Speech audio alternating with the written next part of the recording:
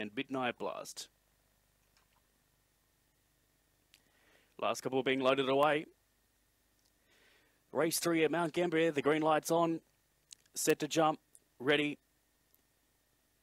Away, Nitrogen Outlaw began cleanly and goes straight to the lead. Concrete Comedy is challenging on its outside, a length and a half away to Midnight Blast, and three lengths last is Daff's Extreme. Up the back, and Nitrogen Outlaw leads the way only narrowly. Midnight Blast is slipping right up its inside. Two lengths away is Concrete Comedy, and four last is Daff's Extreme. They turn for home. Midnight Blast right up nicely and grab the lead. It's Midnight Blast wins by three, beats home Nitrogen Outlaw, followed then by Concrete Comedy, and Daff's Extreme was last home.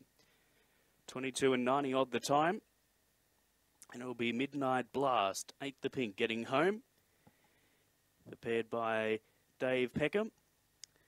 So Midnight Blast beats home 1 Nitrogen Outlaw.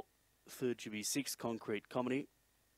And fourth to 4 Daff's Extreme.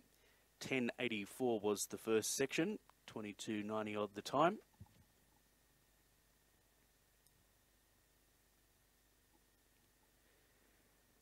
Midnight Blast, the winner, is uh, a Black Dog, December 19, by collision out of Midnight Starlet.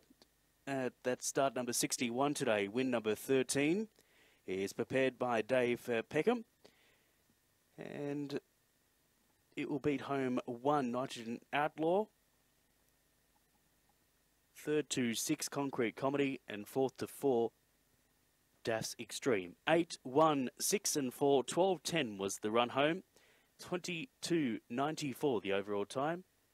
And the margin's about to roll around in the board. Four lengths the winning margin, with a half length separating second and third. 8, 1, 6 and 4, we'll wait on the all clear.